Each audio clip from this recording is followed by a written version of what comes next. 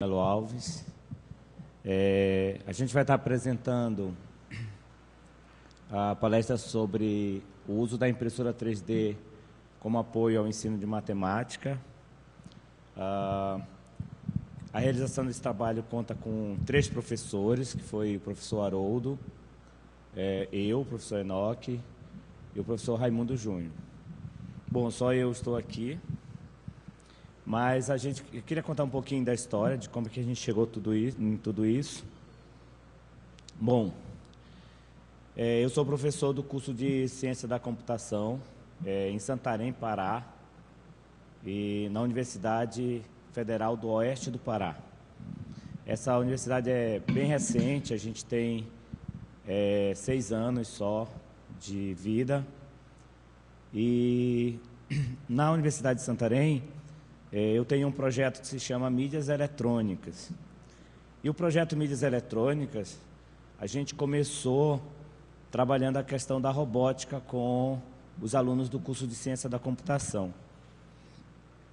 E ele começou justamente por conta da disciplina de ICC e disciplina de programação.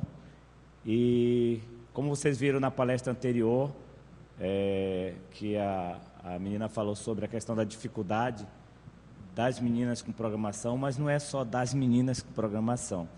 Eu sou professor de programação e uh, eu acho que 80%, ou até mais às vezes, dependendo uh, do perfil da turma, dos alunos de programação, no início, tem muita dificuldade de sair do conceito para esse conceito abstrato que a programação exige. Essa dificuldade tem vários motivos, entre elas, talvez até a própria questão da apropriação da matemática mesmo. É, muitas das vezes eu até vejo que em algumas em alguns problemas de computação, de programação, nem sempre o problema é realmente a programação. Às vezes o problema é o entendimento do problema, às vezes a questão é a interpretação e às vezes a questão é a questão da própria lógica matemática. Como exemplo, eu sempre cito que às vezes a gente passa problemas como, por exemplo, transformar de graus Celsius para Fahrenheit, por exemplo. E às vezes quando você começa a colocar fórmulas matemáticas, que às vezes no caso da computação é simplesmente é, aplicar essas fórmulas, ah, há um bloqueio ah, nos alunos em relação à programação. E muitas vezes não tem a ver com isso. E então a gente é, começou com esse projeto e nós começamos trabalhando com robótica, para como é que eu posso fazer eles aprenderem a programar. E a gente começou trabalhando com robótica. Na época, é, a única coisa que eu tinha era um kit Lego, né, que eu comprei usado. E aí eu comecei a trabalhar com esse kit. E, e a gente pegou duas turmas de voluntários, duas equipes de voluntários e começou a trabalhar com isso. E o projeto foi crescendo, isso foi em 2011, né? O projeto foi crescendo e aí a gente foi conhecendo Arduino, foi conhecendo as tecnologias mais abertas. E hoje o projeto Mídias trabalha basicamente com Arduino, é, no caso da, da aplicação da robótica, e em 2014, nós tivemos a grata satisfação de conseguir uma impressora 3D. Então, em toda essa questão de tentar trabalhar com a robótica, tentar trabalhar com isso, nós conseguimos uma impressora 3D. E no início a ideia era, assim, um afã de ter uma impressora 3D para construir coisas, né? Mas quando, logo quando a impressora 3D chega, uma coisa que a gente faz muito é imprimir muito aqueles objetos prontos, né, que já tem na internet. E, e eu, eu tinha muito essa preocupação, né, mas é, dessa impressora 3D tem que sair alguma coisa é, que fosse criação nossa, né, que a gente pudesse realmente aplicar em algo que pudesse reverter para a educação. Nosso projeto é totalmente voltado para trabalhar a questão da educação. Agora sim. Então, uma das coisas é, que a gente começou a ver é que introduzir a impressão 3D no currículo escolar pode trazer grandes benefícios. A gente começou a introduzir a impressora 3D, a gente, então aquela que eu falei, a gente queria trabalhar com os alunos a questão de melhorar a programação. E a impressora 3D trouxe isso para a gente também? Trouxe.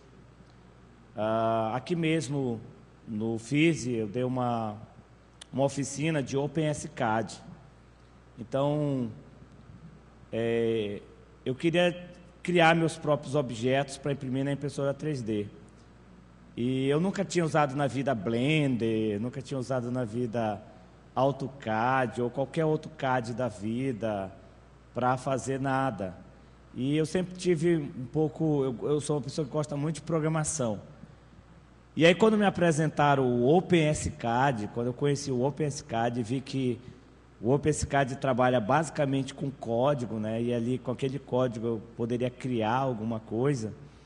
Então aquilo me animou muito. E hoje eu até começo, tenho uma proposta de usar o OpenSCAD para ajudar também nas aulas de, de programação. Uma vantagem de usar o OpenSCAD nas aulas de programação é que você está programando, mas tendo, você tendo a possibilidade de construir um objeto que você vai imprimir e, e isso muda muito a forma como o aluno visualiza esse, essa relação dele com a programação. E essa questão da impressora 3D na escola, a gente é, leu alguns, alguns artigos e tem um relatório de uma, de uma experiência que foi realizada na Inglaterra, da introdução da impressora 3D nas escolas. E realmente, quando você dá para criança, ou dá para qualquer adolescente, ou dá para qualquer é, estudante a possibilidade dele construir objetos, dele criar seu próprio objeto, isso muda até a própria relação dele com o mundo e a relação dele com a, a própria questão do produto, né? Quando ele pode ver que ele pode construir um produto, que ele pode construir algo que talvez ele não possa nem comprar. Para vocês terem uma ideia, é, o Rodrigo está aqui, né? Tá, é, de Santarém também, e a gente fez uma oficina dessa para os alunos dele lá na IFPA. Então a gente fez uma oficina de, de construção de objetos 3D. E são alunos do curso de técnico informática lá. E a ideia era justamente mostrar para eles essa, essa possibilidade que eles tinham de partir do abstrato para o concreto, construir um objeto e ter esse objeto depois impresso em impressora 3D. É, isso é tão fantástico que assim eu queria chamar vocês assim para olhar assim alguns anos no futuro, olhar um pouco para frente. É, como é que vocês acham que vai estar o futuro da impressora 3D? Como é que vocês acham que vai ser uma impressora 3D daqui a 10 anos? Onde é que essa impressora 3D vai estar? Ela, vocês acham que daqui a 10 anos as impressoras 3D vão estar dentro das, casas das pessoas? Vocês acham que vai precisar de mais tempo do que isso? Quem acha que vai precisar de mais de 10 anos para a impressora 3D chegar na casa das pessoas? Pode levantar a mão quem acha que vai precisar de mais de 10 anos. Porque hoje ela não está na casa das pessoas, certo? Hoje ela está nos laboratórios makers da vida, né? Estão nos laboratórios makers, com poucas pessoas tendo acesso. Na minha opinião, vai demorar muito menos do que 10 anos, talvez até 5, ou talvez até menos. É... E agora a gente, a gente tem falado muito da geração YZ, né? E, e, e, tem falado que são crianças que cresceram, por exemplo, com tablet, né? Minha filha tem oito anos de idade, mas desde os três anos de idade ela sabe o que é um tablet. Ela, ela, eu comprei um tablet para ela, ela tinha três anos de idade. E a gente se assusta com o desenvolvimento das crianças hoje que têm acesso a uma tecnologia como o tablet, é, desde cedo. E eu quero convidar vocês para imaginarem como é que vai ser o desenvolvimento de uma criança que vai ter contato com uma impressora 3D desde pequenininha, desde os três anos de idade. Como é que vai ser o desenvolvimento dessa criança? Essa criança vai imprimir a própria colher, essa criança vai imprimir o próprio copo, essa criança vai imprimir é, o seu próprio prato. É? No, no, e, e, isso com três, quatro anos, ela vai lá dar um comandinho, quero imprimir uma colher, quero imprimir um prato, quero imprimir um brinquedo. No início, ela pode estar só escolhendo objetos em um, uma biblioteca de objetos lá, escolhendo e apertando o botão. Mas logo depois, que ela passar dos três, quatro e chegar numa certa idade, ela já vai estar querendo desenhar seu próprio copo. Desculpa se parecer que eu estou com frio, é que eu estou com frio mesmo, tá? É que eu vim, e eu acho que minha voz já está começando a tremer de frio, porque eu vim lá do norte do, do Pará e lá não é tão frio assim. Eu sei que eu estou falando tão frio assim, você diz, ué, está chamando isso de frio, mas é isso mesmo. Então ela vai Logo cedo, essa criança já vai ser um construtor, essa criança já vai ser um inventor muito cedo, mas muito cedo mesmo. Então, é inimaginável o que vai acontecer no desenvolvimento intelectual e, e criativo dessa criança. E a gente chama atenção porque é, geralmente as coisas chegam primeiro na nossa casa, né? A gente diz assim, ah, a criança tem um tablet desde cedo, não é? Mas quando é que o tablet vai entrar realmente no currículo escolar? Está demorando, né? Está demorando. O que o governo fez foi distribuir alguns tablets para os professores, né? Algumas escolas lá do norte receberam só um tablet, a escola inteira, né? Aquele amarelinho, aquele que todo mundo conhece, né? Então a escola inteira recebeu um tablet, sei lá, uma coisa assim. Então, para vocês terem uma ideia, então eu fico imaginando isso também. Eu tenho certeza que a impressora 3D vai chegar primeiro na casa da criança. Primeiro do que na escola. Aí vai chegar uma criança que em casa brincava com uma impressora 3D e vai chegar na escola e talvez o professor dela é, não esteja tão antenado com a questão. E a criança, ah, isso aqui a gente pode imprimir, isso aqui a gente pode fazer, isso aqui a gente pode levar para frente. E é por isso que a gente, disse, a gente começou a pensar assim, bom, então a gente tem que começar a pensar como é que a impressora 3D já pode começar a entrar no currículo escolar, já pode começar a entrar na vida dessa criança. E a proposta é bem essa mesmo, a proposta é que logo, logo a gente vai ter uma impressora que seja é, fácil de usar até por uma criança. Hoje é difícil de usar até por nós. Até por nós, adultos, a gente acha difícil de usar. Não, eu estou dizendo difícil de usar pela quantidade de processos que você tem que passar você tem que fatiar, você tem que calibrar, você tem que fazer uma série de coisas e provavelmente depois não vai ser preciso tudo isso. E conversando com esse, com esse professor de matemática, que é um colega nosso lá da universidade, e quando ele soube que a gente tinha uma impressora 3D, estava trabalhando, a gente começou a conversar, aí começou a surgir a ideia. Eu disse: Ó, oh, a gente pode construir, não pode construir qualquer coisa? Pode. A gente pode pensar em alguma coisa da para a área de matemática. E aí a gente começou a, a conversar e, e, surgiu a ideia de, então, vamos escolher, vamos começar escolhendo um ou dois problemas da área de matemática, vamos tentar modelar alguma coisa na impressora 3D e vamos ver se isso dá certo. E aí a gente viu que a matemática é uma das disciplinas, uma das disciplinas que pode se aproveitar dessa questão da tecnologia 3D. Primeiro, porque a, matemática está, não estou dizendo que é a única, estou dizendo que é uma delas. A matemática está bem ligada ao que a impressora 3D faz, justamente porque é, a parte matemática está envolvida com o próprio funcionamento da impressora 3D. E aí a gente acha que conceitos e fórmulas podem ser melhor demonstrados e melhor compreendidos pelos alunos se eles manipularem objetos reais, se eles saírem do abstrato e forem para o concreto. E especialmente, e aí esses desenhos podem ser é, impressos em impressora 3D. Uma dificuldade que a gente tinha antes é que você pensava em algo e aí geralmente o professor fazia de cartolina, de, de cortando papelão e tudo mais.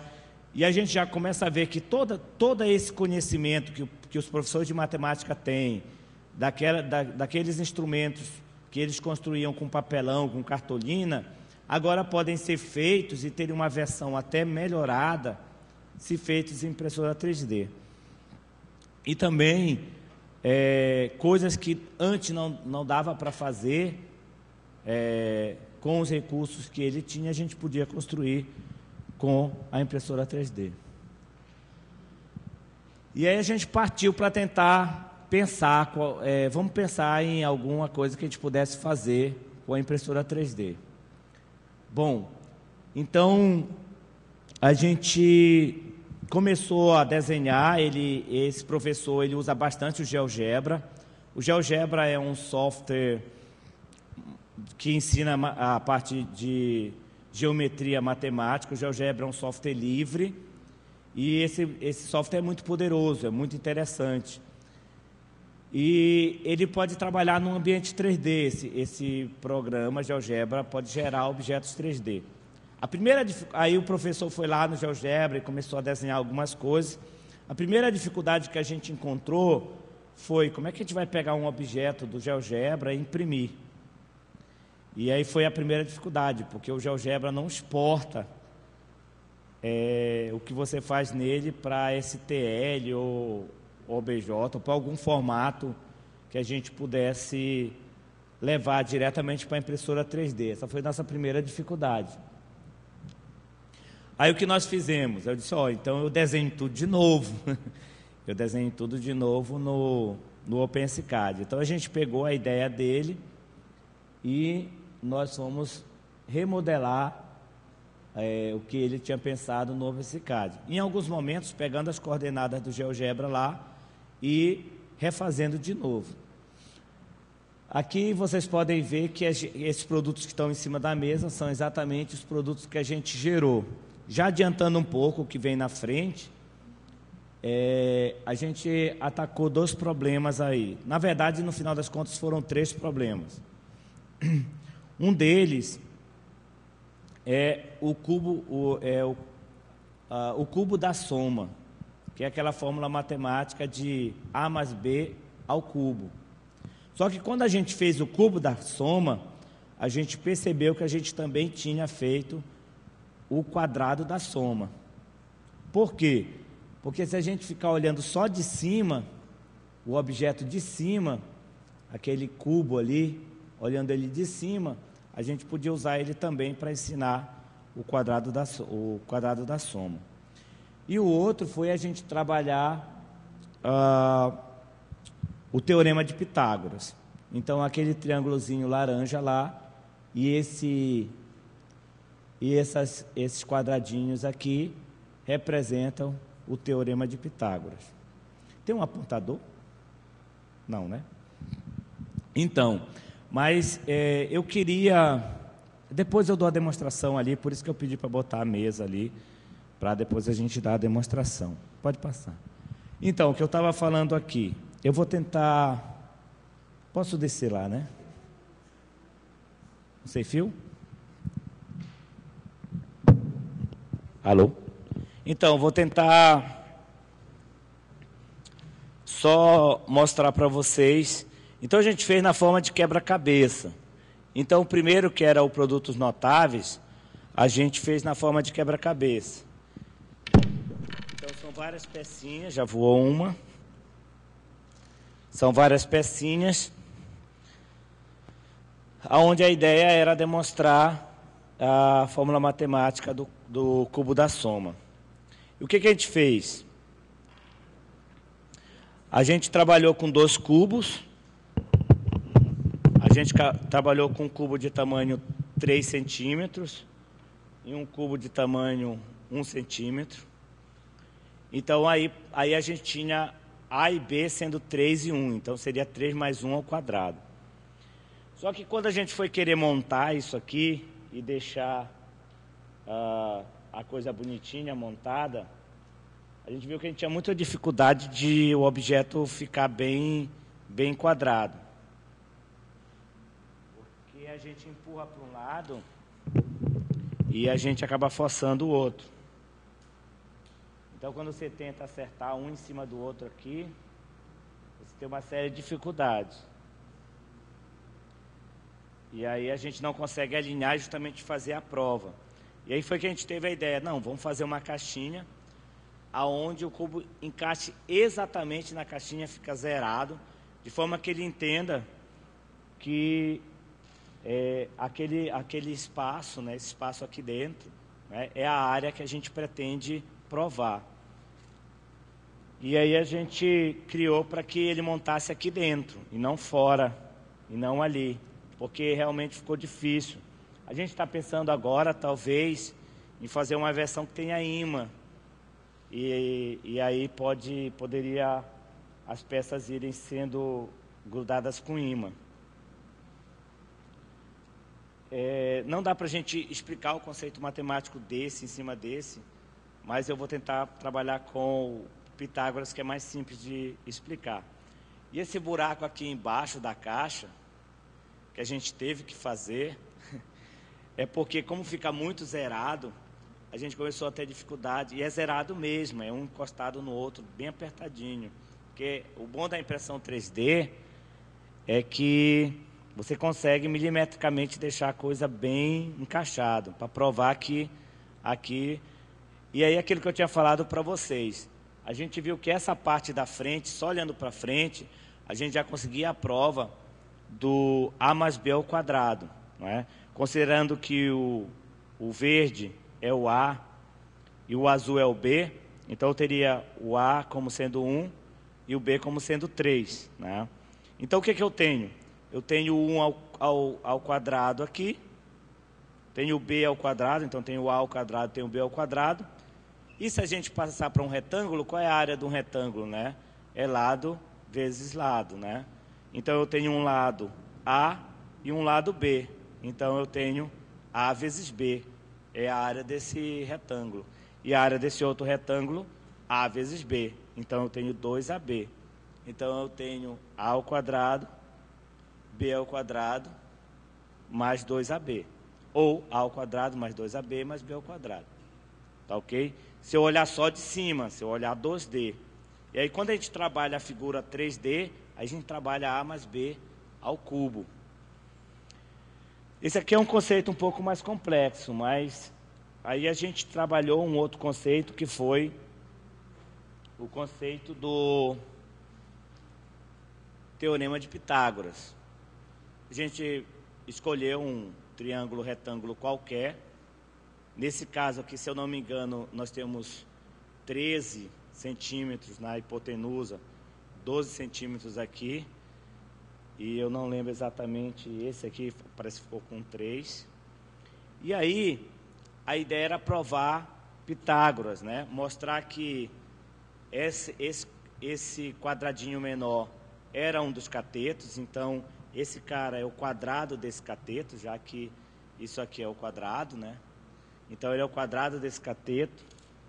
Que esse outro, que esse outro quadrado é o quadrado do, do cateto inferior. Essa prova aqui é do matemático Perigal, tá? E aqui em cima eu tenho o quadrado da hipotenusa. Então eu tenho as três partes. É bom que não quebra.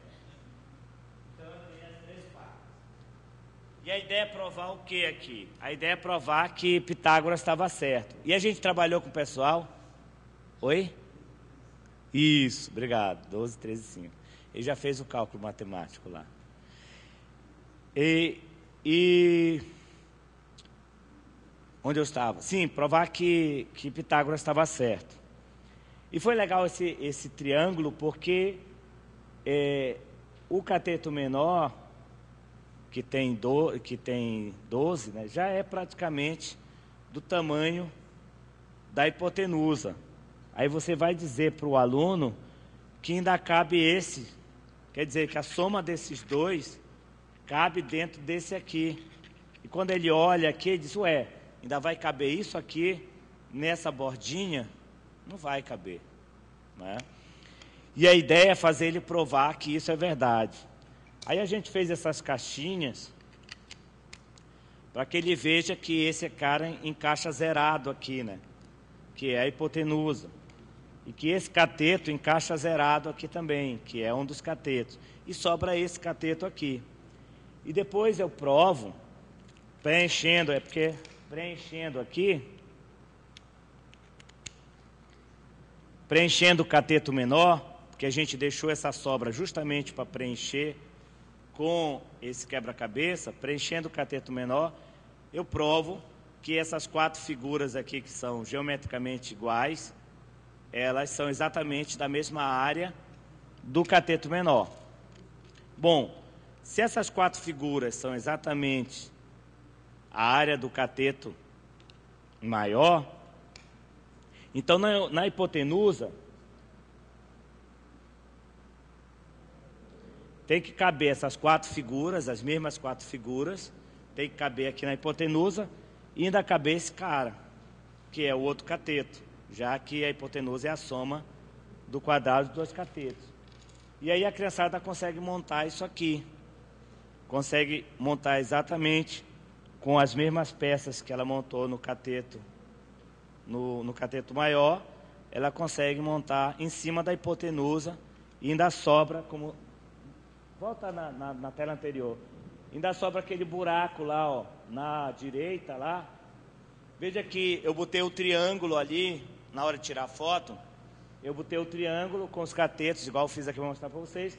E ali do lado, eu montei e deixei o buraco lá, aonde iria encaixar o, o outro cateto menor. Isso aqui foi, foi muito interessante. Esse, esse material ele até foi acabou ficando mais rico que esse, porque a gente fez o seguinte: a gente primeiro é, pediu para eles montarem isso aqui sem a gente explicar o que era. A gente deu como se fosse um quebra-cabeça e pediu para eles montarem. E eles tiveram até mais dificuldade em montar esse do que esse aqui. Tiveram bem mais dificuldade. E eles montaram. Então, quando a gente foi passar para a explicação do, do que era o, o, o teorema de Pitágoras, nesse caso a gente não passou exatamente para a explicação, porque nós não fizemos com alunos que não conhecessem o teorema de Pitágoras. Na verdade, nós fizemos com alunos que hoje são alunos do curso de matemática, de, de, matemática lá na universidade, de licenciatura em matemática. São, são alunos que vão ser professores. E a nossa ideia era, é justamente pegar esse material e treinar professores com esse material. Não é? A ideia é preparar os professores com esse material. Então, fazer um kitzinho com o material, empacotar e entregar nas escolas, fazer oficina e entregar nas escolas esses kits que o professor pode trabalhar. Quando, quando chegar aquela realidade que eu falei lá em cima, quando a impressora chegar na escola, que eu não sei quando é que vai ser, eu sei que na casa das, das pessoas vai chegar bem mais cedo do que nas escolas, então a gente não vai precisar distribuir, né? O próprio professor vai poder imprimir. Então nós fizemos com alunos de graduação. Mas no dia que, tava, que nós estávamos fazendo a oficina dos alunos de graduação, tinha dois filhos, de, eles eram filhos de um dos professores, dois meninos. Um de uns 10 anos e uma outra que eu acho que tinha uns 7 anos no máximo. E o mais engraçado foi que as crianças montavam o quebra-cabeça bem mais rápido que os adultos. Eu achei isso incrível. Principalmente esse. Esse aqui é o mais difícil de montar. Eu não estou dizendo difícil porque eu percebi que as pessoas montam esse bem mais rápido e depois ficam tentando montar esse com a mesma técnica que usaram nesse aqui. E é necessário inverter completamente as peças para caber aqui. Se você tentar fazer do mesmo jeito, não vai. E os adultos ficam tentando é, montar isso aqui com a mesma é, é, vamos dizer, com o mesmo ângulo reto que eles usaram lá, e eles têm que usar o outro ângulo reto. E aí eles ficam batalhando um tempão. E, por incrível que pareça, as crianças não fizeram isso, elas foram muito rápidas, elas conseguiram montar os dois rapidamente. Elas, porque, na verdade, elas montaram de forma intuitiva.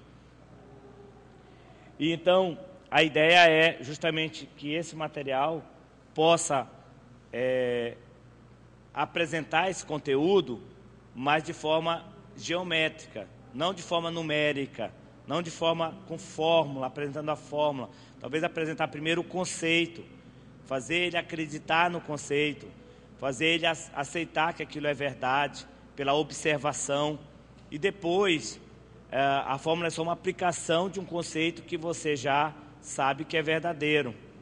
Ok? Se você já tem esse, que esse conceito é verdadeiro. E outra coisa, na hora que ele aprender isso, a fórmula vem só dele lembrar. A fórmula vem só dele lembrar. Quer dizer que a hipotenusa, que é o lado maior, o quadrado dela é a soma dos outros dois, porque os outros dois cabem dentro, o quadrado dos outros dois cabem dentro da hipotenusa. Então não, é decor, não vai ser decoreba. Ele vai é, lembrar disso aqui na hora de fazer a lembrar a fórmula.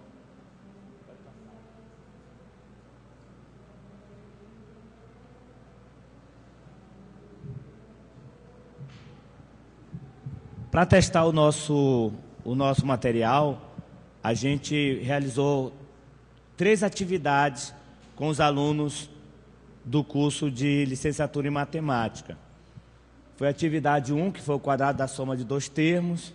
A 2 foi a, o cubo da soma de dois termos. E a demonstração de Perigal para o Teorema de Pitágoras, que é essa que está aí na mesa. Depois que eu terminar a palestra, vocês podem brincar à vontade, manipular à vontade o material. Uma outra coisa que a gente se preocupou com o material foi fazer ele o mais colorido possível, né? tentando usar cores fortes e tentar fazer com que ele fosse bem colorido e bem atrativo. Pode passar. Aqui são os alunos que eu falei para vocês, são os alunos e alunas do curso de licenciatura em matemática. A gente primeiro deu uma oficina para eles. E a coisa mais legal foi o seguinte: depois que eles passaram por essa oficina, eu tive que dar uma oficina de criação de objeto 3D, porque todos eles queriam aprender a fazer isso aí. Esse foi o mais legal. Depois que eu, eu, eu fiz essa oficina, eu tive que marcar mais uma oficina para ensinar eles como é que faz isso aí. Eu quero é fazer, eu quero aprender a fazer, eu quero aprender a desenvolver meu próprio objeto, eu quero construir um objeto. E aí a gente teve que fazer a oficina de modelagem de objeto 3D. Aqui eles estão resolvendo o primeiro problema, que é o cubo da soma de dois termos. A, ali, a, aqui à esquerda, é, eles estão resolvendo com a caixinha, que nós demos depois. Primeiro nós demos sem a caixinha, tá? E ali à direita, as, as meninas estavam resolvendo sem a caixinha, tentando deixar bem certinho em cima do outro lá. Próximo. E a realização das atividades é, a, a maioria dos, dos, alunos era do curso de licenciatura, foram 11 pessoas. Ali, aqui à, à esquerda, é, é o, o segundo problema lá, o segundo quebra-cabeça do Teorema de Pitágoras. E ali é o professor Haroldo. Na tela lá vocês podem ver que na tela dele é, ele está usando GeoGebra. Então esse material que está aqui o professor Haroldo é, desenvolveu uma animação no GeoGebra. Então, depois que eles brincaram com esse material, aí ele foi para o GeoGebra explicar para eles ah, os conceitos que estavam por trás, através da animação, e mostrando para eles a prova matemática, não é? Não só a prova visual, mas como eu posso provar matematicamente. E uma coisa interessante desse material do GeoGebra, se vocês me permitirem, é, é que ele, ele pode ser usado para ensinar um outro conceito, que é o conceito de área. Por quê? Vocês lembram que eu mostrei para vocês o cateto maior, o cateto menor e a hipotenusa? E a gente viu que o cateto maior era quase do tamanho da hipotenusa, e aí depois ficava difícil acreditar que o cateto menor ainda ia caber ali. E aí depois que o aluno vê assombrado que coube, aí você pode trazer o conceito de área, dizer para ele o que, que é a área. por que, que os dois couberam lá, não é? e mostrar o conceito de área, que aparentemente aqueles objetos não tinham a mesma área, porque estavam simplesmente em formatos diferentes, mas que mesmo em formatos diferentes, você pode calcular a área, pode somar essa área. Pode passar. E aí, para a gente avaliar o resultado da oficina, nós fizemos dois questionários. Um questionário, a gente avaliava, avaliava os alunos no término da oficina. E, e nós tínhamos um outro formulário que nós aplicávamos antes e depois da oficina. Então, nós aplicamos um, um questionário para ver a efetividade do material. Lembrando que nós não estávamos aplicando ainda ao aluno, nós estávamos trabalhando com alunos do curso de licenciatura, mas eles são bolsistas lá do laboratório e a ideia é que depois a gente, eles possam aplicar na escola durante o estágio deles. E a ideia também é nós fazermos formação de professores. Pode passar. Então, é, como eram três atividades, então basicamente nós fazíamos a pergunta se o geo, a, a gente queria saber também se o GeoGebra tinha contribuído para eles entenderem o, o material concreto. E também se o material concreto tinha contribuído para a compreensão da atividade. Então a gente tinha duas necessidades. Uma, saber se o GeoGebra, que é o software livre que o professor estava usando, tinha ajudado também na compreensão e se o material concreto também tinha tido a sua, a sua participação.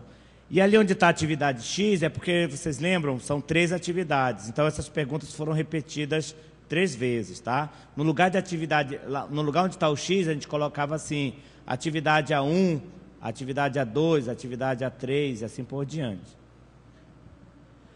É... Poxa vida, faltou a parte ali de baixo. Acabou não vindo completo esse gráfico, né? Mas o gráfico ali, o amarelinho, volta só na pergunta. A gente tinha o concordo plenamente, o concordo parcialmente. Então o amarelinho pode ir. Então, o amarelinho eu concordo plenamente. E em, algum, em alguns, tinha alguns alunos que concordavam parcialmente sobre a. a e, e você vai ver que é, é sempre em relação ao GeoGebra. Volta para lá só para mostrar que a segunda pergunta é o material concreto e a primeira pergunta é o GeoGebra. Agora pode ir. Então, é, a gente tinha sempre, no material concreto, eles sentiram muito mais firmeza do que no, no GeoGebra. Pode passar. Essa era a questão 3. Essa, essa questão ela é interessante porque a gente testou o aluno no início da atividade e no final da atividade. A gente pedia que ele ilustrasse aqui, esse desenho início, era para ele ilustrar a demonstração de Perigal, para ver se eles conheciam já, para ver se eles já conheciam a, o, o, a demonstração de Perigal, que é essa que nós usamos. E depois da oficina, nós aplicamos também para saber se ele tinha internalizado essa demonstração, se, o, se os meninos tinham internalizado essa. Pode avançar. Nesse questionário, a questão 3, Todos os participantes deixaram em branco. Todos eles deixaram em branco. Então, nenhum deles foi capaz de, no início, nenhum deles foi capaz de, no início, é, demonstrar graficamente perigal. Mas, depois da oficina, oito responderam é, é tinha corretas eu só não estou entendendo esse outro barra 4 aqui. Parcialmente correto. Eram 11, né?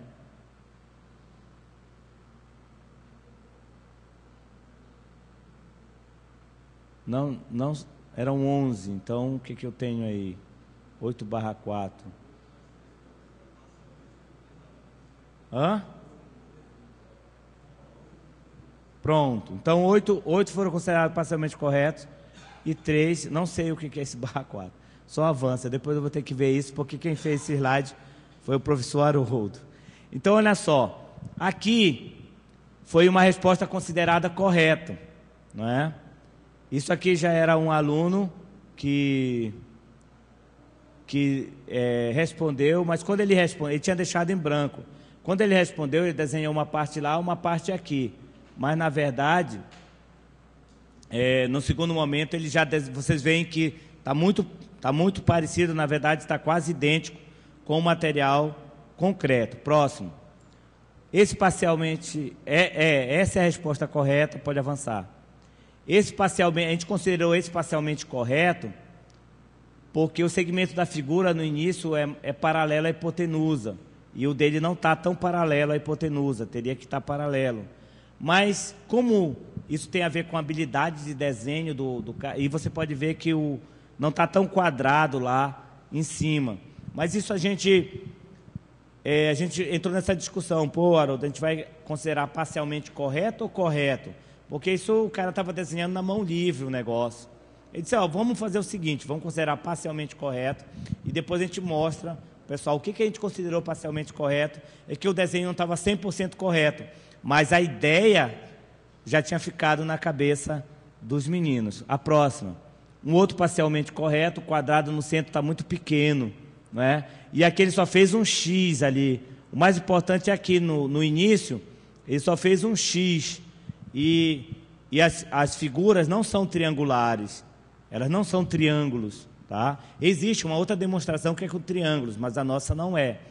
Mas aí a gente considerou porque lá no final acabou ficando é, bem parecido com a figura que a gente já tinha. A próxima.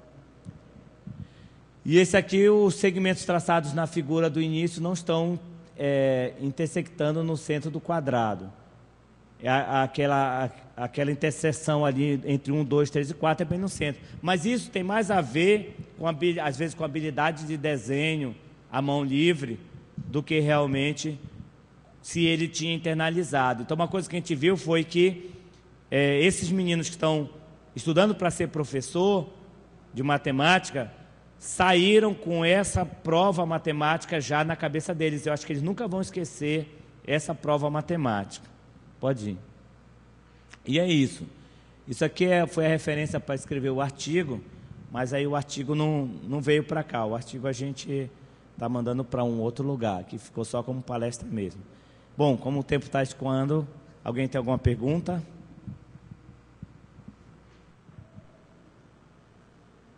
Se alguém tem uma pergunta, o microfone está bem aqui. Não? Então a gente pode gastar o tempo, vocês é, podem ver à vontade aí o material, pegar, conhecer o material, então, tá bom? Quem quiser. Por isso que eu quis deixar na mesa aí. Obrigado.